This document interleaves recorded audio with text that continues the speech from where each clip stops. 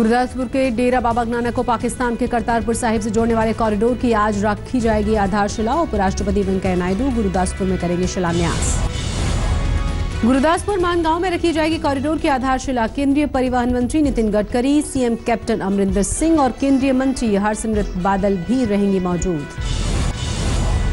डेरा बाबा नानक और करतारपुर साहिब कॉरिडोर की पाकिस्तान में 28 नवंबर को रखी जाएगी आधारशिला। पाकिस्तान से भारतीय राजनेताओं को मिले न्योते पर गरमाई सियासत। पाकिस्तान ने विदेश मंत्री सुषमा स्वराज, सीएम कैप्टन अमरिंदर सिंह और नवजोत सिंह सिद्धू को दिया है न्योता। नहीं जाएँगी सुषमा, कैप्टन ने भी किया इनकार। केंद्रीय मंत्री हरसिमरत कौर और हरदीप सिंह पुरी और नवजोत सिंह सिद्धू करतारपुर कॉरिडोर के शिलान्यास में जाएँगे पाकिस्तान। दिल्ली में आतंकी हमले की मद्देनजर हाई अलर्ट। जम्मू कश्मीर में दिल्ली पुलिस ने स्थानीय पुलिस की मदद से तीन आतंकवादियों को दबोचा। श्रीनगर के काटीबाग से पकड़े गए तीनों ही आतंकवादियों के आईएस से जुड़े होने की आशंका। दिल्ली में आतंकी हमले की साजिश रच रहे थे। गिरफ्त में आतंकवादियों में ताहिर अली खान त्राल का रहने वाला, आसिफ सुहेल और मुस्ताक खान बडगाम के रहने वाले। जम्मू कश्मीर पुलिस ने छह संदिग्ध आतंकवादियों को जम्मू तवी एक्सप्रेस से गिरफ़्तार किया। पठानकोट रेलवे स्टेशन से हुई गिरफ्तारी। पुलिस के मुताबिक गिरफ्त में आए संदिग्ध आतंकी बना रहे थे बड़े आतंकी हमले की योजना। मुंबई में हुए 26 ग्यारह आतंकी हमले की आज दसवीं बरसी। हमले में मारे गए एक सौ छियासठ लोगों को देश दे रहा है श्रद्धांजलि। मुंबई में हुए 26 ग्यारह आतंकी हमले के गुनहगारों के खिलाफ अमेरिका ने किया बड़ा ऐलान। आतंकवादियों और हमले से जुड़े सुराग देने वालों को 50 लाख डॉलर का मिलेगा इनाम। मुंबई के हमले की बरसी के दिन विदेश राज्य मंत्री वी के सिंह ने करतारपुर कॉरिडोर पर मिले पाकिस्तान के न्योते का ज़िक्र किया। बोले, सरकार अपने रुख पर कायम, आतंकवाद और बातचीत साथ साथ संभव नहीं।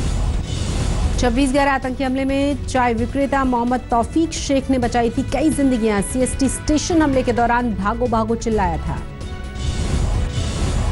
खड़ा होकर देखा तो मेरे को रहा नहीं गया और मेरे मेरे को रास्ता मालूम है कहाँ से निकलने का। तो वहाँ पे चिल्लाने लगा बम फट रहा है भागो भागो इधर से भागो वो रास्ते से भागो इधर से निकल जाओ रेलवे छोड़ के जान बचाओ। नागपुर से राम मंदिर के लिए संघ प्रमुख ओंकार भागवत बोले मंदिर के लिए कानून बनाए सरकार। भागवत का बयान मंदिर तोड़कर बनाया गया था ढांचा, वैज्ञानिक शोध में भी साबित हुआ है मंदिर का दावा।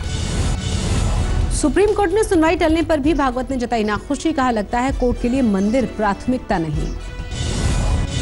वाराणसी में हो रही तीन दिवसीय धर्म संसद का आज है दूसरा दिन, आज होगी राम मंदिर निर्माण पर चर्चा। धर्म संसद में कल उठा था वाराणसी में निर्माण कार्य के लिए मंदिर तोड़े जाने का मुद्दा, साधु संतों ने विश्वनाथ कॉरिडोर के लिए मंदिर तोड़े जाने का विरोध किया। कल अलवर की चुनावी रैली में पीएम मोदी ने उठाया था राम मंदिर का मुद्दा। कांग्रेस पर कोर्ट की सुनवाई में अड़ंगा लगाने का लगाया आरोप। पीएम मोदी का आरोप, राम मंदिर पर नई सुनवाई चाहती है कांग्रेस चीफ जस्टिस को महाभियोग की धमकी। सचिन पायलट का पलटवार, राजस्थान में चुनावी हार सामने देखकर पीएम ने चला है सांप्रदायिक कार्ड सचिन पायलट बोले, चुनाव प्रचार के दौरान पीएम मोदी ने पहली बार किया राम का ज़िक्र, क्योंकि उन्हें अब सताने लगा है हार का डर।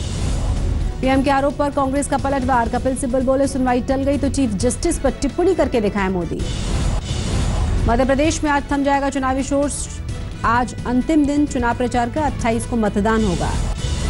मध्य प्रदेश के कुक्षी में आज सुबह साढ़े ग्यारह बजे अमित शाह की रैली, दोपहर दो बजे इंदौर में करेंगे रोड शो। स्मृति ईरानी की आज मध्य प्रदेश में चार रैलियाँ, छिंदवाड़ा, नरसिंहपुर, सतना और छतरपुर में करेंगी सभाएँ। अखिलेश यादव भी आज मध्य प्रदेश के बिजावर और महाराजपुर में साथ ही चंदला में करेंगे रैली। मिजोरम में भी आज विधानसभा चुनाव के प्रचार का आखिरी दिन। शाम पाँच बजे के बाद थम जाएगा चुनावी शोर। राजस्थान में आज पीएम मोदी का तूफानी प्रचार। तीन रैलियों को करेंगे संबोधित राजस्थान के भीलवाड़ा, बानेश्वर और कोटा में होगी पीएम मोदी की जनसभा। पहली रैली सुबह ग्यारह बजे भीलवाड़ा में। राजस्थान में आज राहुल गांधी की बेहद बिज़ी दिनचर्या। सुबह नौ बजे अजमेर में ख्वाजा गरीब की दरगाह पर टेकेंगे मत्था। सुबह सवा दस बजे राहुल पुष्कर के ब्रह्मा जी मंदिर पहुँचेंगे, बाद में करेंगे तीन रैलियाँ। राजस्थान के पोखरण जालौन और जोधपुर में होगी राहुल गांधी की जनसभा। पहली रैली साढ़े बारह बजे पोखरण में।